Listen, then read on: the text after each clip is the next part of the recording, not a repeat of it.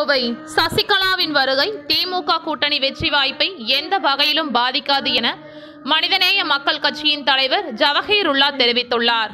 கோவை ஆத்துப்பாலம் பகுதியில் உள்ள தனியார் அரங்கில் மனிதநேய மக்கள் கட்சியின் மேற்கு மண்டல பொதுக்குழு கூட்டம் நடைபெற்றது. அதில் கலந்து கொண்ட அக்கட்சியின் தலைவர் ஜவஹீருல்லா செய்தியாளர்களுக்கு பேட்டியளித்தார்.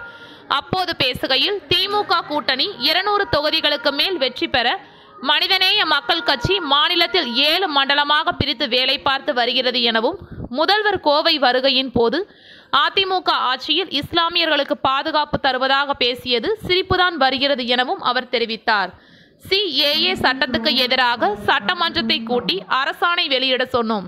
ஆனால் அதிமுக அரசு நிராகரித்தது எனவும் போராட்டத்தின் போது இஸ்லாமியர்கள் மீது போடப்பட்ட வழக்குகளை திரும்பப் பெற அதிமுக அரசுக்கு மனமில்லை எனவும் குற்றம் சாட்டினார். மனிதநேய மக்கள் கட்சி கடந்த காலங்களில் சட்டமன்ற தேர்தல்களில் சொந்த சின்னத்திலேயே நின்றது என குறிப்பிட்ட அவர் திமுக தலைவர் மு க ஸ்டாலின் கையில் வேல் எடுத்த நிலைப்பாடு குறித்த கேள்விக்கு ஒன்றே குலம் ஒருவனே தெய்வன் என்ற அண்ணாவின் கொள்கையின் அடிப்படையில் திமுக செயல்பட்டு வருகிறது என தெரிவித்தார். அதிமுக அரசு மக்களை ஏமாற்ற ஜிகினா வேலைகளை பார்த்து வருகிறது எனவும் சட்டமன்ற தேர்தலில் அதிமுக படு தோல்வி அடையும் எனவும் தெரிவித்தார்.